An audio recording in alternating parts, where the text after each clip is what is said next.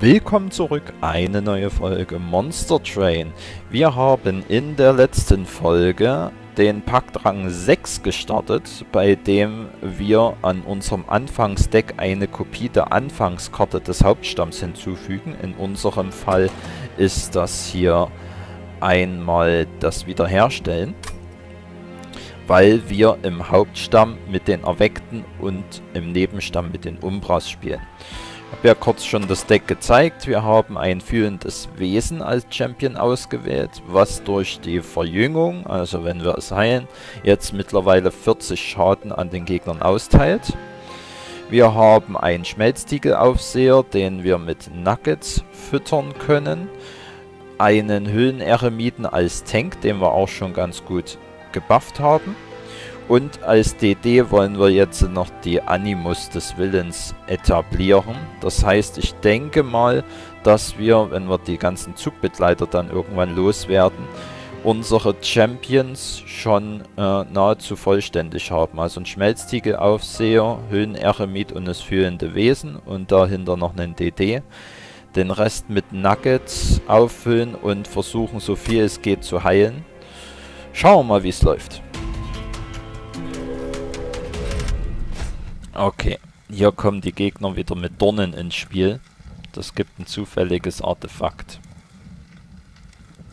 Wir probieren das mal. Das Artefakt reizt mich. Okay. So. Gut. Unser fühlendes Wesen gleich mal 40 Schaden drücken.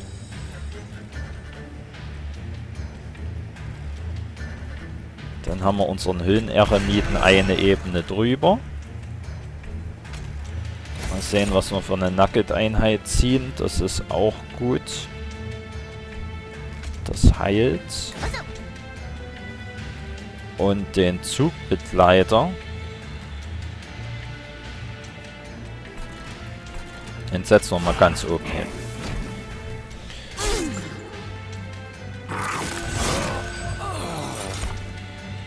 So, leider kriegen wir einmal diese Reue-Karte. Das ließ sich jetzt nicht vermeiden. Das ist gut, der macht den Sammler gleich fertig. Äh, der ist jetzt in dem Kampf irgendwie komplett nutzlos, ne? Aufgrund von den Dornen. So, erstmal heilen wir nochmal. Dann setzen wir einen Zugbegleiter hier vorne hin. Der darf nämlich mal ins Gras beißen.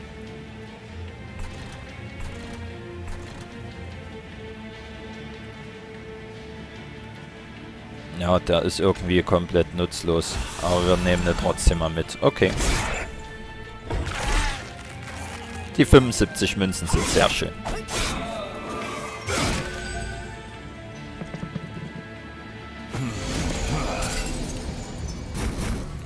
Gut. Jetzt haben wir unseren Schmelztiegelaufseher. Der kommt oben hin.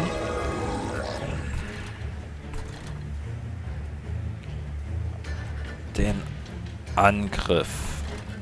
Hier oben stirbt alles. Das heißt, wir nehmen den Angriff hierfür.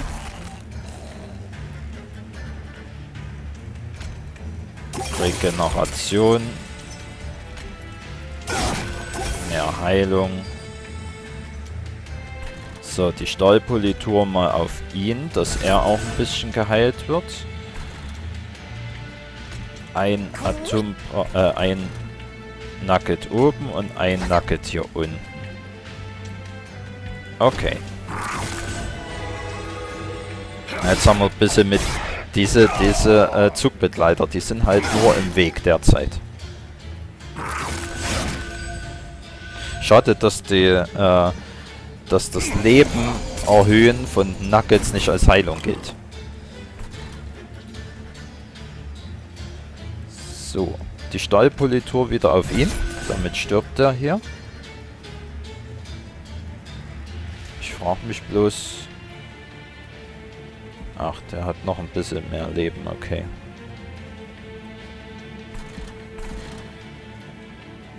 Gut. Äh, einmal Heilung. Einmal Zugbegleiter als Kanonenfutter hier unten hin. Gucken wir uns mal an, was es für Nuggets gibt. Schadensschild, Lebensraub. Der stirbt allerdings hier unten. Lebensraub ist hier ganz gut.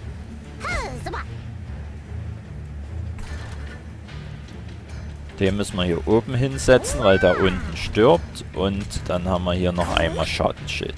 Okay, sehr schön.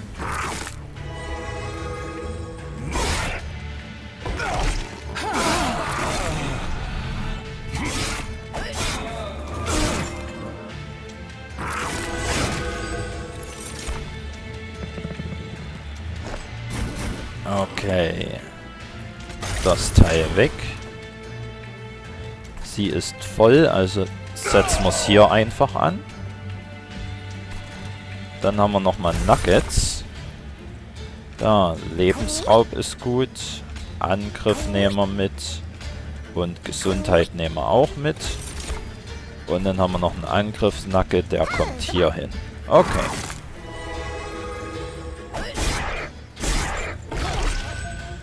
Schade, dass der Lebensraub als erster ausgeführt wird. Wir dann doch nochmal Dornenschaden bekommen. Gut. Mehr Regeneration. Einmal hochheilen. Den Zugbegleiter vorn hinsetzen.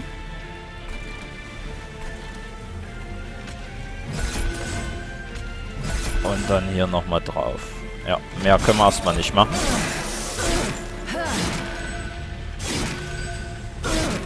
Durch die Dornen werden die Kleinen zumindest gekillt, das ist schon mal gut.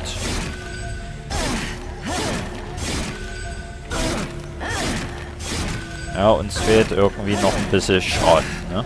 Besonders dann, wenn die Heilung ausgefallen ist. Das heißt, wir brauchen definitiv mehr, mehr Heilungen. So, das muss weg, das muss weg. Der kann geheilt werden. Haben wir hier noch einmal Nugget. Das sieht gut aus. Und gib ihm. Sehr schön.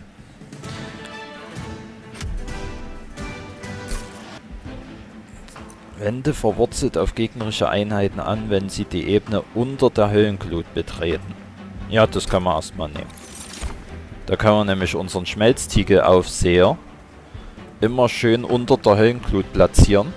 Und dann werden die definitiv bis zum Ende gegrillt.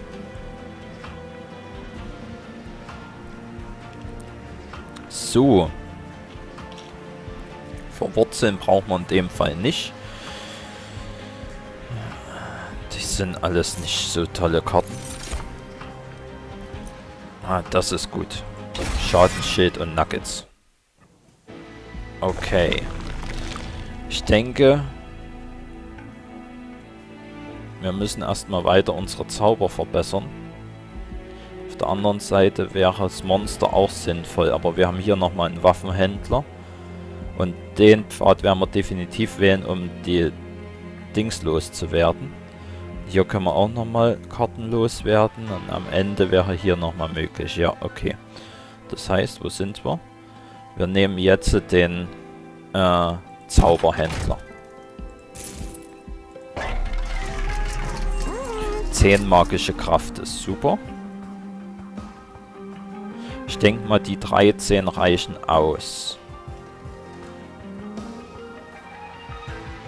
Oder wollen wir 23 machen? Ne, 13 reichen aus, um irgendwas hinten eigentlich zu killen, ne?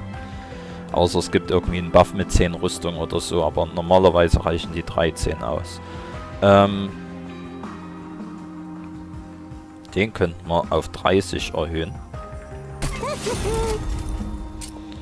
Und den schon mal preiswerter machen.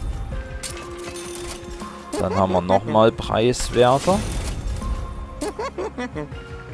Und Verbrauch. Hm. Den Dornenhieb habe ich bisher noch gar nicht einsetzen können.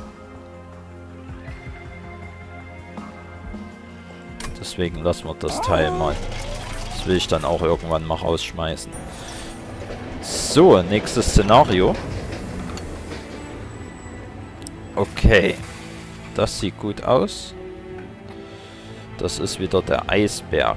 Plus 1 auf jeder Ebene. Plus 3 auf einer zufälligen Ebene. Oder minus 1 auf jeder Ebene, aber dafür plus 15 magische Kraft. Ne, ich würde sagen plus 1 auf jeder Ebene. Dann haben wir erstmal genügend Platz, um die ganzen Nuggets aufzusetzen. Okay. Auf zur nächsten Runde. Oh, das ist der Tarn... Tarngrübel hier. Das ist... Und Reichweite. Ein Zauberschild können wir uns nicht leisten. Das wird schwieriger. Das wird definitiv jetzt schwieriger. Okay. Schmelztiege auf sehr oben hin. Höhleneremit, zweite Ebene. Fühlendes Wesen unten hin. Die Stahlpolitur, ich denke mit dem 15 Schaden kommt er ganz gut zurecht. Das heißt, erstmal nehmen wir... Was hat er hier überhaupt? Todesstoß, okay. So.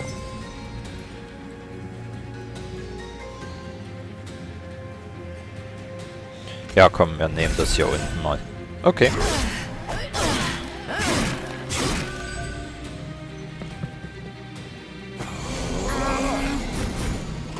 Das ist schön. Der Sammler wird gleich Geschichte sein. Den Animus setzen wir jetzt mal hier dahinter hin. Unser fühlendes Wesen heilen wir auf. Geben ihm die Stahlpolitur. Gucken wir mal, was wir von Nugget bekommen mit Lebensraub. Okay.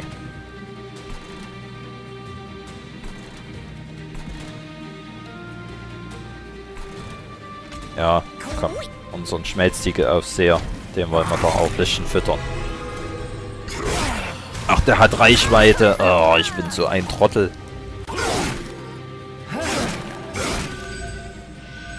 Die Reichweite habe ich ja jetzt gar nicht gedacht. Das Verwurzeln ist nur einmal leider. Okay. Okay.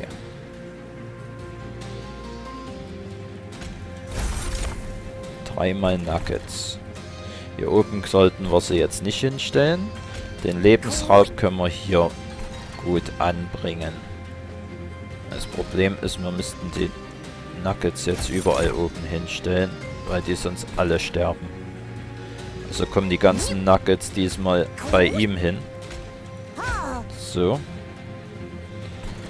Jetzt haben wir hier nochmal Dornen, die wir an Schaden bringen könnten. Zugbegleiter.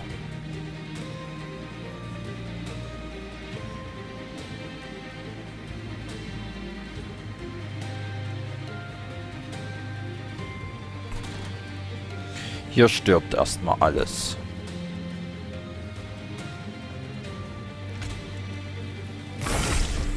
So, hier stirbt nur der Erste.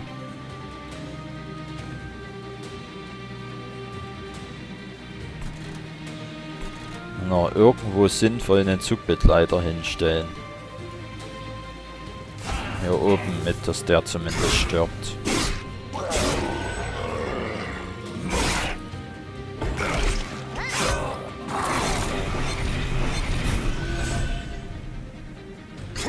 Ja, so richtig läuft es noch nicht, weil wir noch zu viele Karten haben, die uns nicht viel bringen.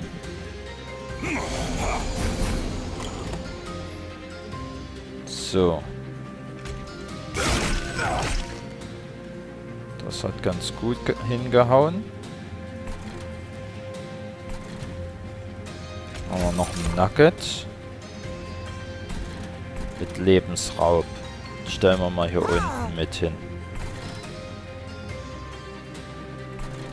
Okay. Zugbegleiter. Dann vernichten wir hier schon mal die ganzen Mobs. Gut.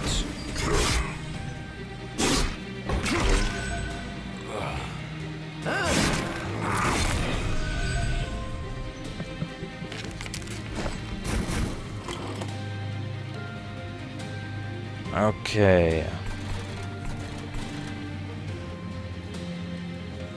Regeneration. Stahlpolitur. Das Schadensschild. Das sind nochmal 13 Damage.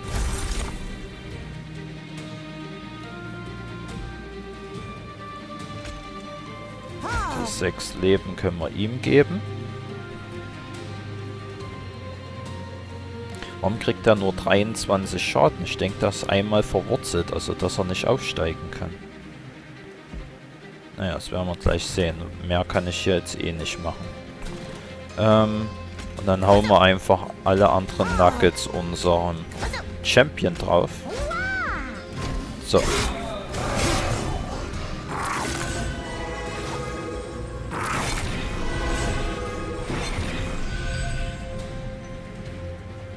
Ah ja, jetzt baut er das Verwurzelte ab. Und, ähm, er baut das Verwurzelte ab und jetzt kann er getötet werden. Alles klar. So, nochmal ein Schadensschild. Einmal Heilung. Dann opfern wir einmal einen Zugbegleiter.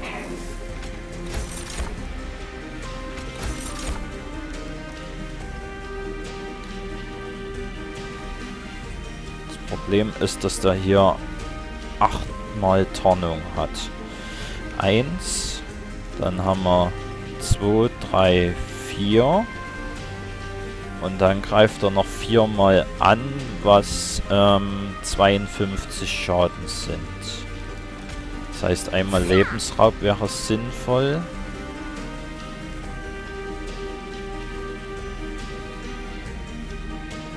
Ja, und dann nehmen wir den Angriff noch mit hinzu.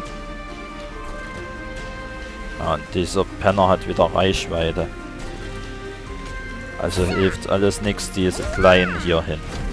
Okay.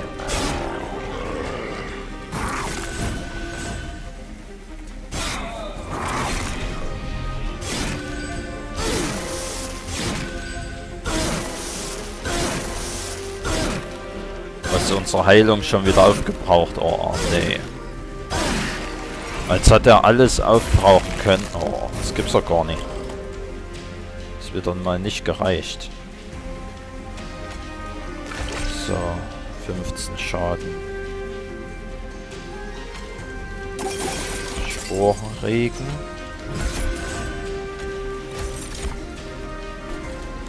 Das ist nochmal Nugget. Und nochmal Dornen.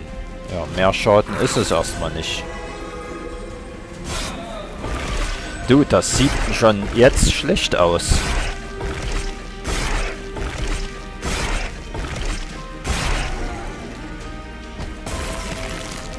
Das sieht überhaupt nicht gut aus. Oh, und wir kriegen aber auch keine vernünftigen Karten, da. Das ist nicht normal.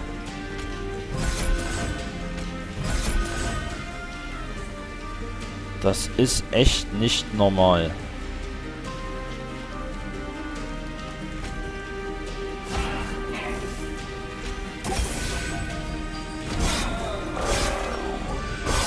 Uiuiui. Wir konnten keine richtigen Nuggets aufbauen für unseren Schmelztiegelaufseher. Wir konnten kaum Heilung zaubern. Ja, einmal haben wir sogar Schaden in der Höllenflut einstecken müssen. Also das war alles andere als optimal. Alles andere als optimal.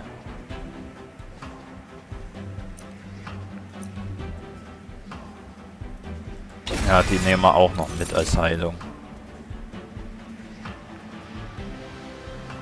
Das ist zu viel Höllenflut.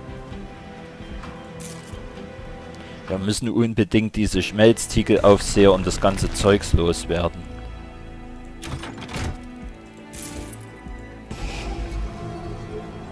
Äh, Schmelztiegelaufseher, die Zugbegleiter. Schmelztiegelaufseher, nicht, um Gottes Willen. So, was kann man denn noch verbessern?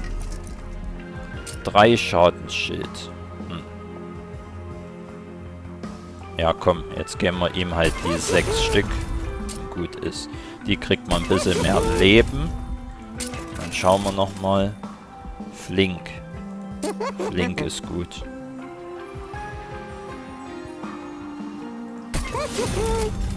Okay. Ich glaube, wir haben alle verbessert, ja. Gut. Dann geht's zum zweiten Boss. So, die Splitter. Ähm, eine Verzauberung. Kriegen wir plus 1 Höllenglut auf die Hand. Das ist nicht so toll. Und ähm, wenn wir nicht Nugget-Einheiten spielen, kriegen wir Schwindel. Ist auch nicht so toll. Okay. Hilft alles nichts. Müssen wir durch. So.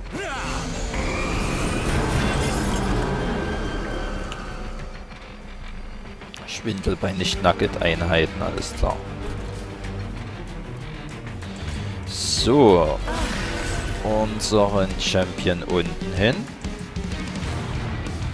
Dann haben wir schon mal einmal Schadensschild. Wir setzen einfach mal unseren flinken Animus dahinter. Dann gehen die drei schon mal drauf.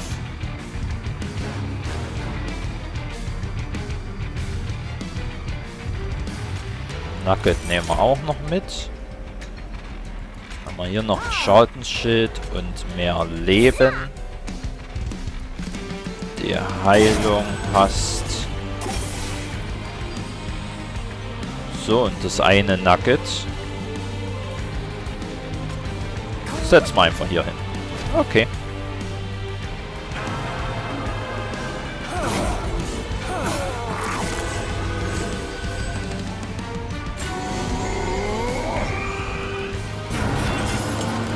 Okay, da sollten wir jetzt keine Zauber wirken hier oben, aber wir können Schmelztiegel auf Seher hinsetzen. Dann Höhleneremiten hier oben noch mit hin. Ein Zugbegleiter.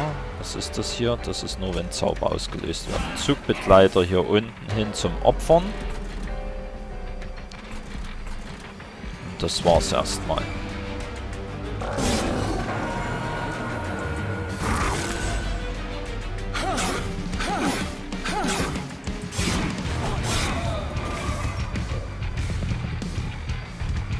So, wir bräuchten mal wieder ein bisschen Heilung oder irgend sowas, ne?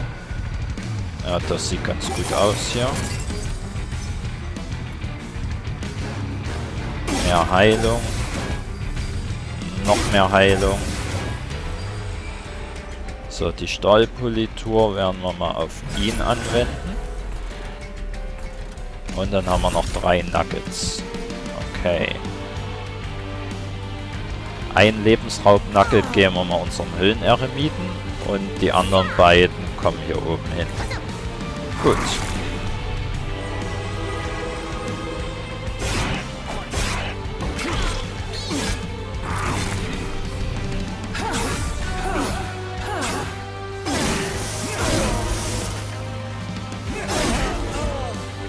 Die killen sich selber und er wird dann durch das Verjüngen noch getötet. Sehr gut. So. 30 Gesundheit wiederherstellen. Ja, was haben wir hier? Okay. Hier sollten wir keinen Zauber wirken. Zumindest nicht als erstes. Hier sollten wir auch keinen Zauber wirken.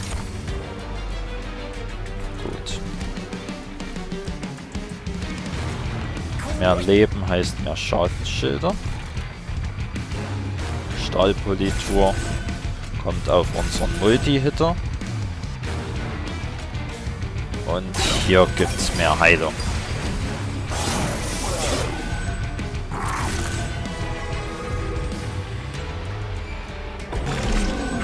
Das sind schon mal 19 Schaden auf dem Boss.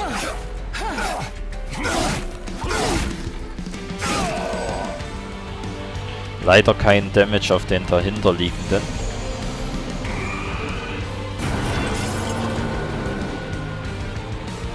So, hier sollten wir keine Nicht-Nugget-Einheiten spielen.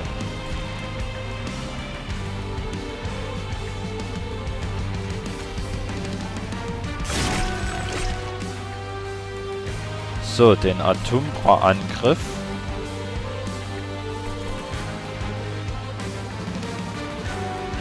Ist, glaube ich, sinnvoller, wenn wir den hier oben einsetzen. So, hier nochmal eine Heilung. Hier gibt es wieder ein Nugget für Lebensraub. Hier gibt es einen Bergmann.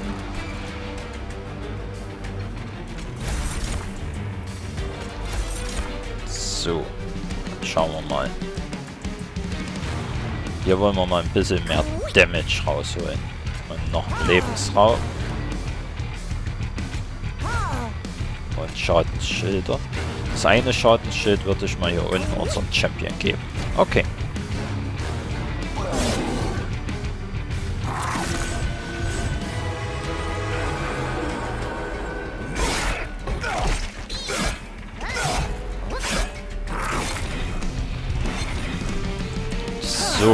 Okay.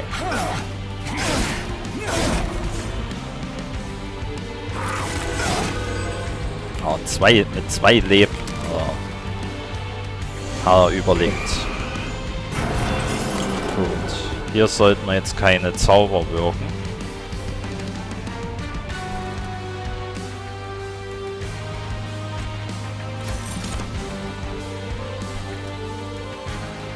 Heißt, wir setzen einfach einen Zugbegleiter unten hin, der hier stirbt.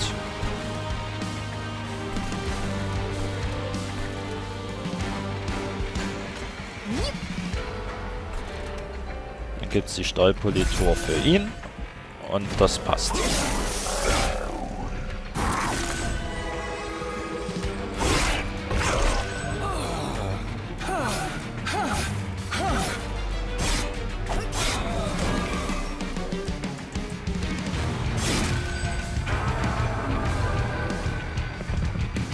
Okay.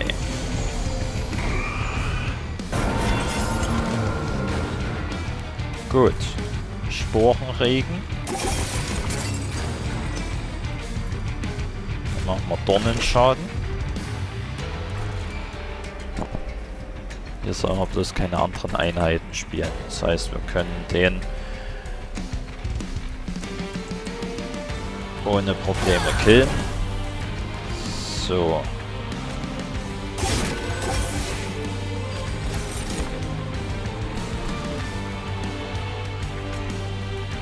Lebensraub geben wir mal unserem Hölleneremiten wieder. Hier gibt es mehr Leben. Und hier gibt es noch ein Schadensschild. Das sieht doch schon mal ganz solide aus bisher. Was mir eher ein bisschen Sorgen bereitet, ist, dass der Boss noch 1500 Leben hat.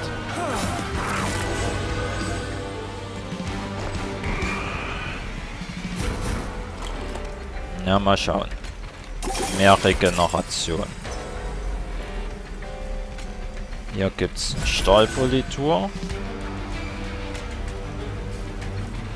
Das wird nichts machen. Ne? Doch 40 Damage. Ach ja, weil wir einmal Verjüngen gemacht haben. Okay. Nochmal 40 Damage. Und einmal mehr Angriff. Ja, wir, wir stecken jetzt alles in unseren Schmelztiegelaufseher.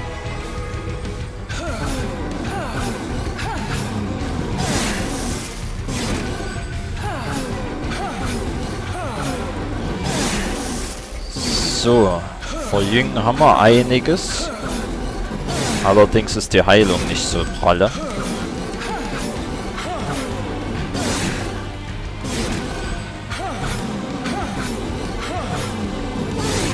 Das heißt, jetzt wird sie leider ein Level abgeben. Und er hat auch leider nur 25 Leben glatt. Okay. So, noch 750 Leben. Schadensschild können wir hier drauf geben.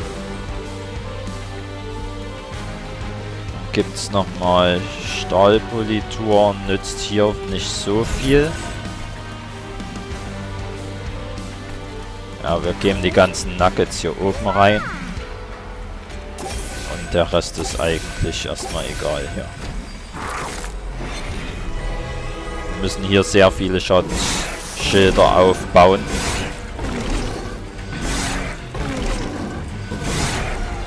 Okay. 650 Leben.